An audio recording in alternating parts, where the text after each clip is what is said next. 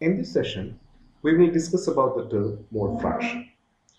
Before that, you should know what are the components of a solution and their number of moles. Basically, every solution has two components, a solute and a solvent. So every solution has these two components, a solute and a solvent. The minor component of a solution, the minor component of a solution constitute the solute and the major component is the solvent. Okay. For example, if I take 2 grams of sodium chloride and mix it with 9 grams of water to make 11 grams of a solution, 11 grams of a solution, then definitely this 2 gram is the minor component and which constitute our solute. So sodium chloride is the solute here and the major component that is the quantity in 9 grams constitute the solvent. So in every solution you have to figure out which one is the solute and which one is the solvent. Now you should know how many number of moles of the solute and solvent are there in the solution. For that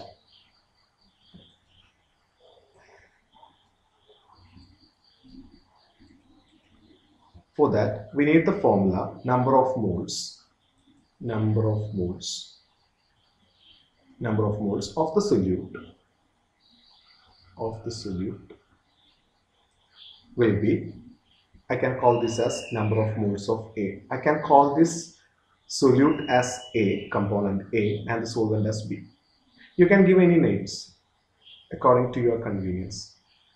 I'm calling the solute as A and the solvent as B. So number of moles of the solute that is Na will be given mass of the solute given mass of the solute divided by molecular mass of the solute. Molecular mass. So this is the this is the formula for finding number of moles of the solute provided the given mass should be in grams. Okay. Similarly the number of moles of the solvent. Before that you, you can find how many moles of sodium chloride is there in the solution. Here you know there are 2 grams of sodium chloride which means given mass of the solute is 2 and the molecular mass of the sodium chloride for that you can use the molecular mass of the individual components and add that to find the total molecular mass. For sodium chloride there are only two components a unit of sodium and a unit of chlorine. You know the molecular mass of sodium is 23 and that of chlorine is 35.5 35.5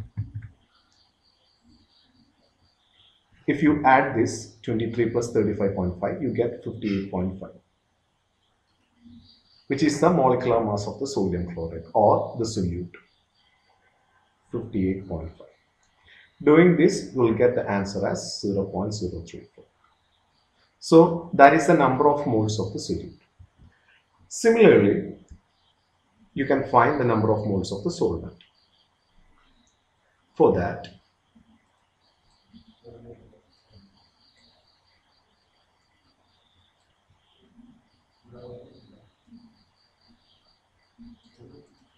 you have this is 2 divided by 2 divided by 58.5 is equal to zero point zero three.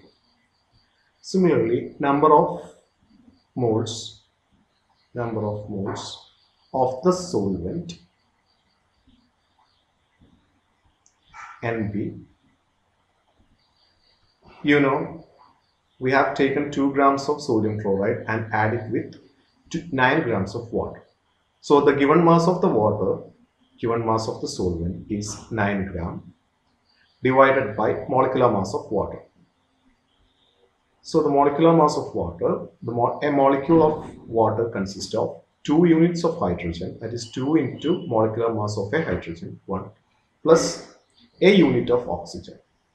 You know, the molecular mass of an oxygen is 16. So adding this, you will get 2, 2 plus 16, 18. So 18 gram is the molecular mass of water.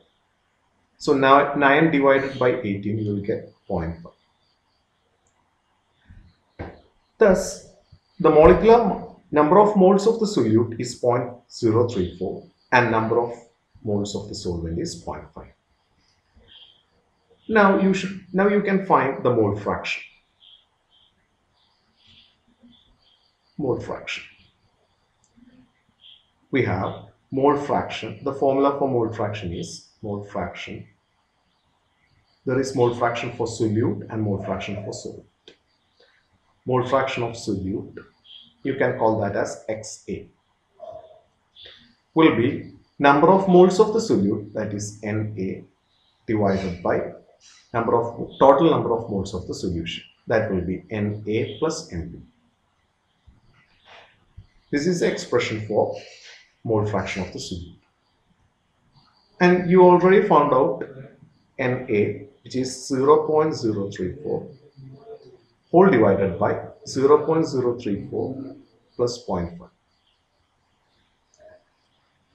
The answer for this is 0.64, approximately 0.064. So that is the mole fraction of the solute. Similarly, the mole fraction of the solvent, mole fraction of the solvent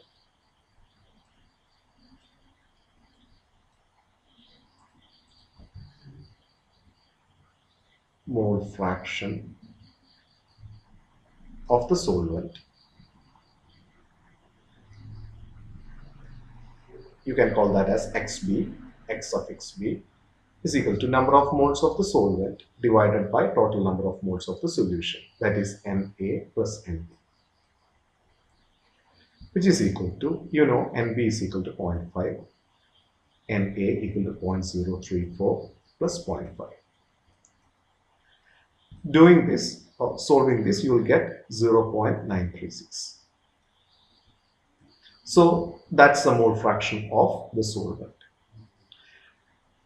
instead of doing this instead of finding this way you can also find the mole fraction of the solvent from the mole fraction of solute that is every time xa plus xb in all cases mole fraction of the solute plus mole fraction of the solvent will be 1 so instead of doing this, you know, you, you already found out what the value of xa is. You can subtract, you can subtract this xa from 1, that, that will be your xb. Clear? Let's do some more questions so that you will be familiar with the process. Here, you are given 23 gram of ethyl alcohol, 23 gram of ethyl alcohol and they have mixed it with 54 gram of water 54 gram of ethyl alcohol ethyl alcohol. And and 54 gram of water. So definitely this one is the solute. The minor component in the solution is the solute. So the ethyl alcohol is the solute and one which is the major component here it is water and which constitute the solvent. Now they have given the molecular mass of the ethyl alcohol which is which is 46. Now number of moles of A that is number of moles of ethyl alcohol will be 23 given mass given mass is 23 divided by molecular mass of ethyl alcohol which is 46. 23 divided by 46 you get 1 by 2 or 0.5. Similarly, number of moles of the solvent NB. Here the given mass is 54 and you know the molecular mass of water is 18. They have given it here 18 gram 18. You will get the answer as 3. So the mole fraction of the solute or the mole fraction of the ethyl alcohol XA will be Na by Na plus N. That is 0.5 divided by 3 plus 0.5. Solving this, you will get 0.5 divided by 3.5, which is equal to, you can you can multiply both the numerator and denominator with 10, you will get 5 divided by 35, which is equal to 5 in 5, 1 times, and 5 in 35, 7 times. So the mole fraction will be 1 by 7. Okay. Let's do one more question. Here, in this question, they have given ethylene glycol, which is 20 percentage by mass in aqueous solution. Which means you have ethylene glycol, C2H6O2, dissolved in water, water H2O. So the solution consists of ethylene glycol and water. And they have given, there is 20 percentage of 20 percentage by mass in aqueous solution. That is, if I take 100 gram of the solution, 20 gram will be ethylene glycol and the rest 80 gram will be water. So definitely the minor component is the solute that is ethylene glycol which is the solute and the water is the solvent. Now you have to find the number of moles of ethylene glycol that is Na. Na will be given mass we have considered they, they only given this percentage 20 percentage by mass in aqueous solution. So you can consider that as 20 gram. So 20 gram divided by you should find the molecular mass of C2H6O5 or, or O2 sorry C2H6O2 there are two units of carbon. So 2 into 12. 6 units of hydrogen. So 6 into 1. You can put the braces here.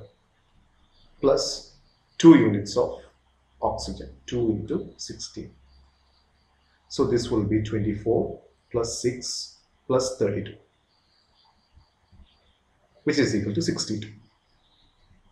So the molecular mass of ethylene glycol is 62. So, so, so number of moles of ethylene glycol will be 20 divided by 62. On solving this, you will get 20 divided by 62. You will get point approximately 0.324. 0.324. Similarly, number of moles of the solvent that is that is solvent here is water. Number of moles of the moles of solute sorry solvent. 80 given mass is 80 divided by you know the molecular mass of water is 18 18 on solving this you will get 80 divided by 18 will get approximately 4.44 444 Okay. Now it's time to find the mole fraction.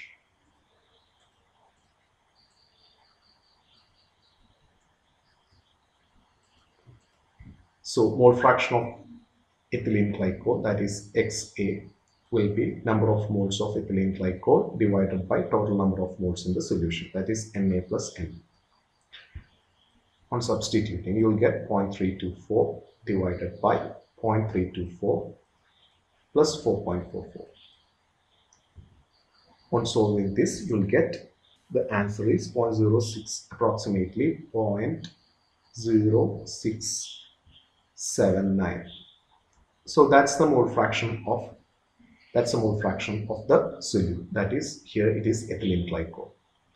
Instead of doing instead of doing this fraction, you you can find xb by subtracting xa from 1.